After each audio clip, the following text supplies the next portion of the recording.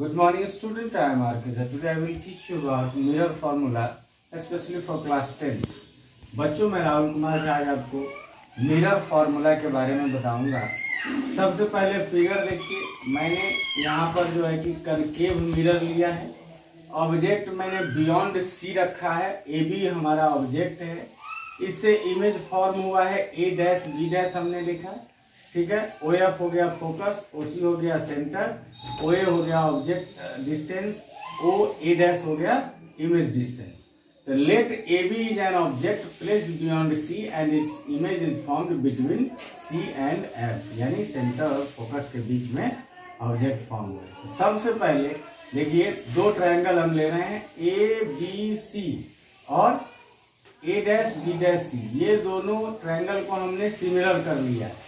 जैसे angle A angle A dash 90 degree है, और ये वर्टिकली अपोजिट तो जब दो एंगल बराबर हो गया, तीसरा भी बराबर होगा यानी ये सिमिलर हो गया दोनों ट्रायंगल तो जब सिमिलर होगा तो हम लिख सकते हैं ए बी बट्टा A dash B dash A B बट्टा ए डैश बी डैश फिर ए सी बट्टा ए डैश सी यहाँ देख लीजिए।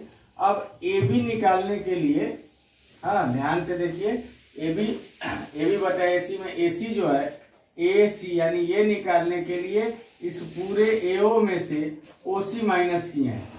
एओ माइनस ओ सी फिर ए डैश सी निकालने के लिए ओ C minus O A dash यानी आप ए ओ जो है ऑब्जेक्ट डिस्टेंस माइनस यू क्योंकि ये कनकेव मिरर है इसलिए ओ सी जो है, ये सेंटर ऑफ़ कार्वेचर है तो ये इसका वैल्यू हो जाएगा माइनस टू एफ़ उसी तरह O C minus two F और O A dash image distance है तो माइनस भी अब देखिए यहाँ दो माइनस है तब minus u plus two F यहाँ भी दो माइनस है तो minus two F plus B यानी ए बी बट्टा ए डैश बी डैश आपका वैल्यू आ गया minus u plus two F by minus two F plus B ये इक्वेशन वन हो गया।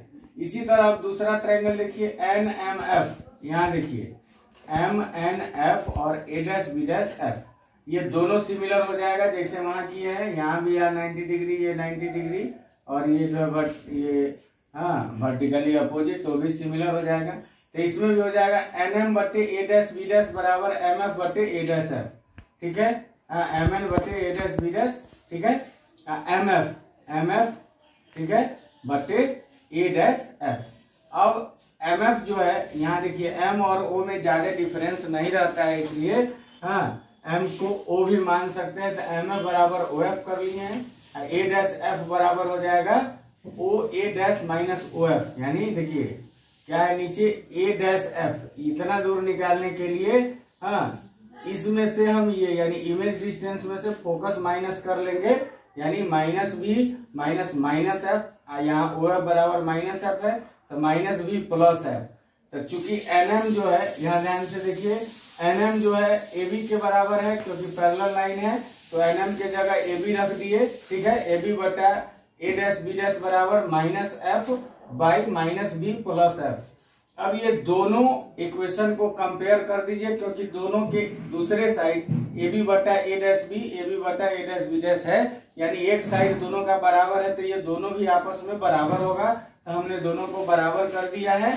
अब यहाँ कुछ नहीं करना है, आप इसको सिंप्लीफाई कर दीजिए क्रॉस मल्टीप्लीकेशन होगा। सिंप्लीफाई किए हैं तो हमको बचा है U F minus V U plus U F बराबर ज़ीरो अब इसको यू वी एफ़ से डिवाइड कर दिए हैं।